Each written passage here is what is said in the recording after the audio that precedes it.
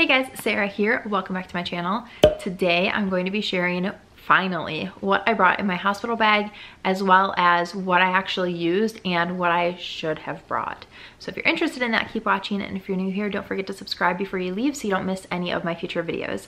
All right, let's get into it. Baby Theo is going to be six months old next week so I'm very very very late on filming this video but I did still want to get it up for you because there's so many things that I brought that I definitely didn't use and I just, I think I expected things to be different than they were in the hospital. And there's a couple of things that I didn't bring that I wish I would have. So now I know for next time I'm a little bit more confident in what I would bring with me. So let's get into all of the things that I brought. If you are new here, I did have a C-section. I knew I was going to have a C-section because Theo was breech and he was breech from like kind of early on in my pregnancy, he was just comfortable sitting there like that. So I knew around like 34 weeks I think that I was having a c-section. And then I had it scheduled for 39 weeks and I naturally went into labor. My water broke very dramatically. Um, at 38 weeks, which I can link my birth story up in the cards if you haven't seen it yet. It is crazy, but it is not traumatic. I do not believe in sharing traumatic birth stories because I think it just instills more fear and my story was crazy, but it was actually really, really good. So this is kind of geared more towards C-section, at least some of the products are. I still have the list of things that I was planning on bringing to the hospital. So First of all, I brought my pillow from home, which I cannot recommend doing that enough. I just think that it's it's just what I'm used to, it's what I'm most comfortable with, and that was so much easier for me to get comfortable in the hospital. The pillows that they give you are just awful, to just put it bluntly. Uh, and so having something that's a comfort item like that, especially because you're kind of like bedridden while you're in the hospital. So it's nice to feel as comfortable as possible with that. Next, I brought the Boppy pillow. Honestly, I thought that the Boppy pillow was something that I would use a ton through postpartum, but I really didn't start using it until probably around like four months or so because for a plethora of reasons, we were feeding football style. So Theo was kind of on my side and I actually never even brought the Boppy into the hospital while we were there. There was just no need for it. I definitely wouldn't bring it again. I think if you do want something, you can just use pillows to prop your baby up. If you have a vaginal birth, then you're out of the hospital in like 24 hours. And even with the C-section, they usually keep you for three days, but I was out of there within 48 hours. So I don't think that the Boppy was necessary for me to bring with me. And then I honestly didn't even use it. A blanket. This is another item that I just wanted, knowing that I would be in bed a lot, I wanted something that I would be nice and comfortable in.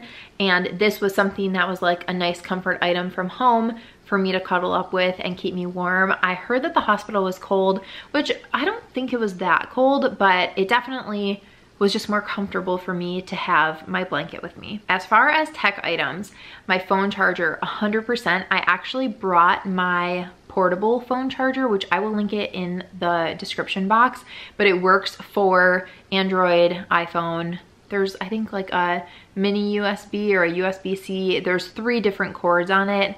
It is amazing. Uh, so I brought that, which was great. And then I didn't have to worry about plugging it in anywhere. If you don't want to do that, then I highly suggest getting a really long cord because where the bed is situated in the room, you just don't know where it's going to be. So it's easier to have a longer cord so you know that it'll reach and you'll be able to use your phone while you are in bed. If you go into labor naturally, you could be there for hours before delivering and then after that you just you're in the bed a lot. So I feel like I can't stress that enough. So having access to your phone to be able to call people or whatever is awesome.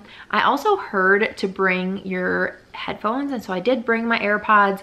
I did not end up using them, but I thought maybe I would just so that I wouldn't be like having to have my hand holding the phone or if I was like FaceTiming people or something so that I wasn't disrupting, but really I it, there was no point. I also brought my camera, my camera charger, my laptop, an extra SD card. Like I fully thought that I would film more than I did.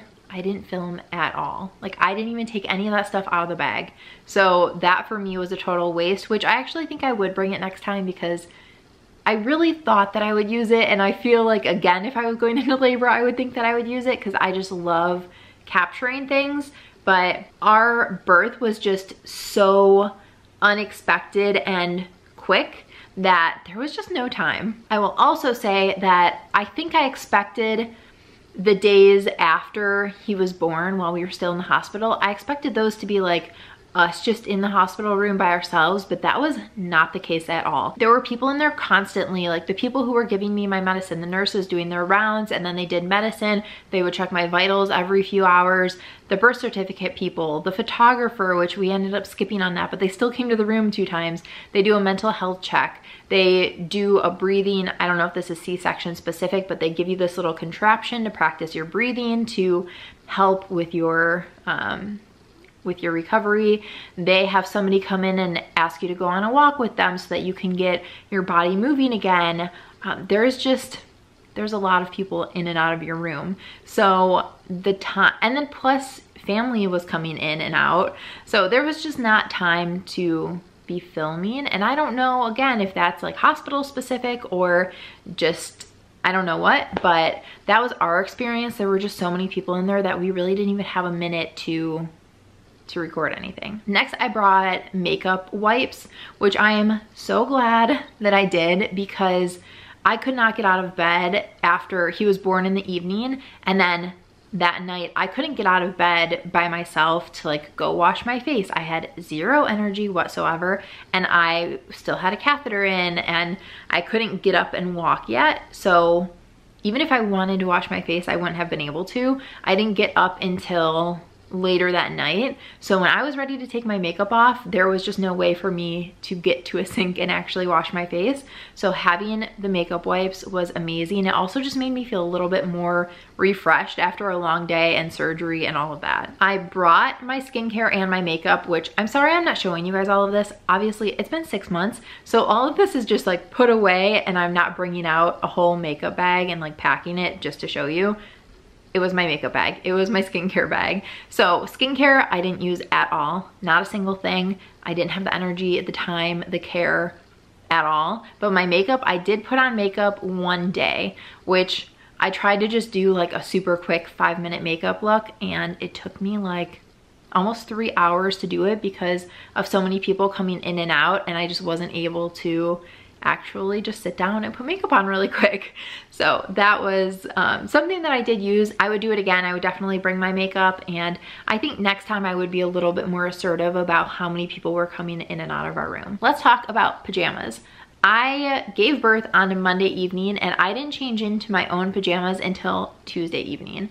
And that's partially because I had surgery and so for all of Monday night, I was in my hospital gown, but I could not get out of bed yet. So I mean, I'm not gonna like try to figure out how to change when I can't even move or stand up or anything yet. And then when Tuesday rolled around, I thought I'd be able to take a shower and I was finally cleared to get up and take a shower on my own. They were gonna take the IV out because I did have a port, but uh, by the time they did that, it was like midnight. And so I was already exhausted, so I figured I would just shower in the morning. But I did end up changing into my pajamas and I brought two pairs of pajamas. I highly recommend this style, one or the other. So the first thing I brought was this striped pair of pajamas. They're wrinkly because they were just rolled up in my drawer. But this is a nightgown and it is a button down. This is amazing for a C-section. And then I also brought this pair, which is also button down and it's a shirt and then shorts. So depending on what type of birth you have, is where um, the difference in this is.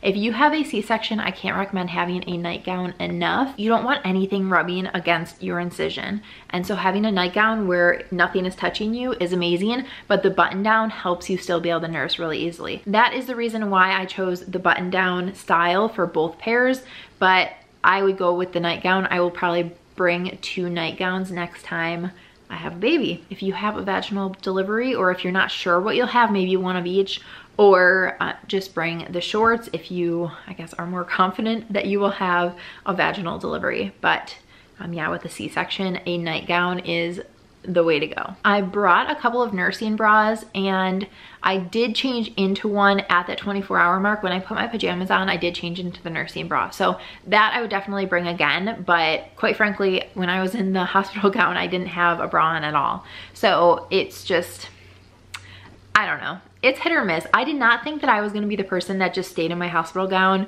and my hospital socks and all of that, but I totally was. I brought slippers, shower sandals, and fuzzy socks. I did not wear the slippers at all.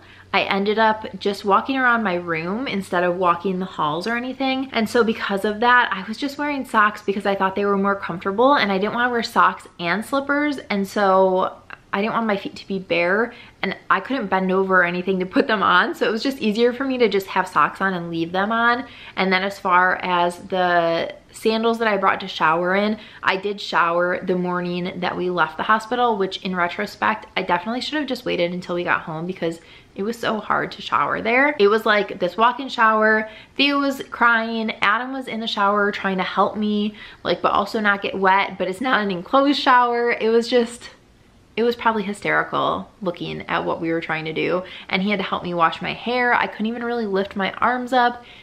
It was a mess. So I did bring shampoo and conditioner and I did use it, but if my hair hadn't have been that dirty, I would have just not washed my hair until I got home. I my hair was already dirty when I went into labor. I took a shower the morning that I went into labor and I didn't wash my hair and I was thinking, oh my gosh, I really need to wash it. I'll wash it tomorrow. I'll just throw braids in it today. So I threw braids in it and then went on with life and then went into labor. So my hair was like at its dirtiest point already. And then I had Theo that day and then the next day I couldn't shower. So the day after that I finally was able to shower. I had to wash my hair. So I did bring shampoo and conditioner and I did use it. I brought hair ties, which I think this would probably work better for people who have a natural labor, but because I had surgery, my hair was already up in braids and then a messy bun, so I just left it. And then when I took it out, I had the hair tie from that and I didn't lose it. So that wasn't something that I needed. Maybe I'd bring an extra one just in case I did lose it, but yeah, I didn't need, I feel like I made a big fuss about making sure I had a couple and there was no need. Lip balm, yes, yes, yes. A thousand times, yes, bring a lip balm. It's cold in the hospital and I feel like it's again one of those just like comfort, like luxurious things that it feels good. It like helps your dry lips, but also it's it's like a comfort thing for me. So it was like a thing that I had from home that was my thing to put on and I just kept it next to me and I don't know why that was really comforting for me. I think I just don't like being in a place where none of the things are mine. Like nothing around us in our room was ours. And so it felt good having something that was. So, and just your lips are so dry. I was so dehydrated because I couldn't drink anything. I couldn't eat anything. And so, yeah, I was so, so, so dry. I brought my water tumbler and it stayed in the car. I thought I would bring it in, but we were in such a hurry because my water had broken. And then when I got into recovery, they gave me ice chips and then they finally let me eat and they just brought me a cup of water. And then every single time I kept asking for more water because I was so thirsty. So I think they put a note in my file because then anytime a nurse would come in, like I think my first nurse, I had her for both overnight shifts and she was amazing. And I think she put a note somewhere because then when they switched shifts, that nurse came in and she's like, hey, here's your water. And then she kept bringing me water. So I did not need to worry about having my water. And the thing about this is if you have a C-section, I don't know how it is if you don't, but if you have a C-section, you don't wanna drink out of a straw. This is something that I heard, but then I didn't follow it and I wish I would have. So when you drink out of a straw, you probably never think about it, but you get the air that goes through the straw until you get the liquid and you're intaking air and it creates gas in your body.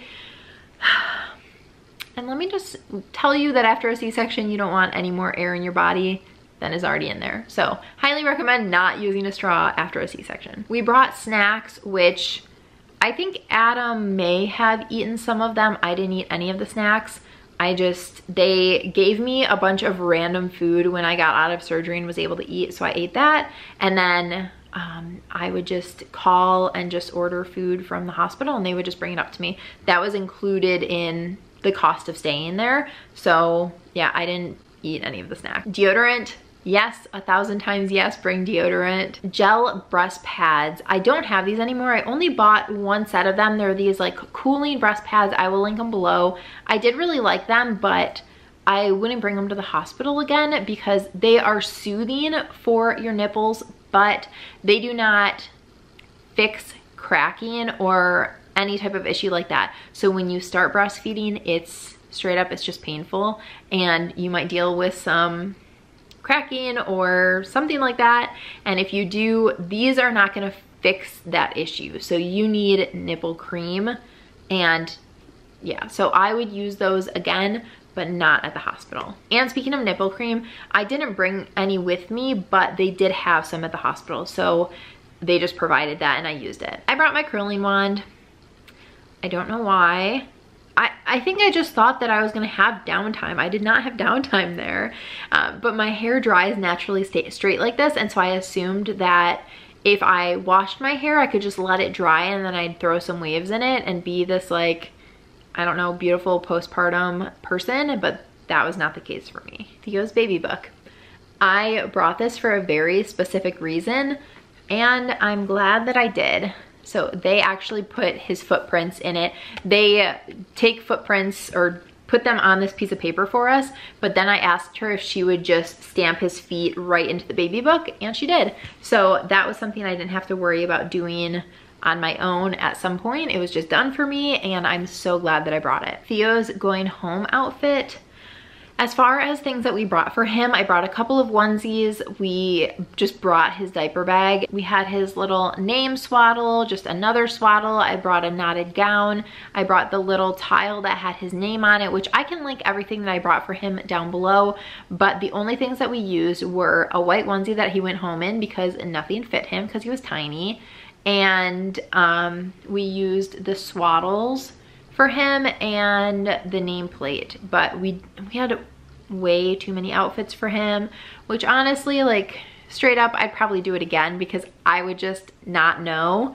And I didn't know what I would want him to wear when we took his first photo. And so I would I would definitely do that again. Like I, I don't even care. The clothes are tiny, who cares? Throw them in the bag, it's not a big deal. A few other items I brought for postpartum, these beautiful underwear.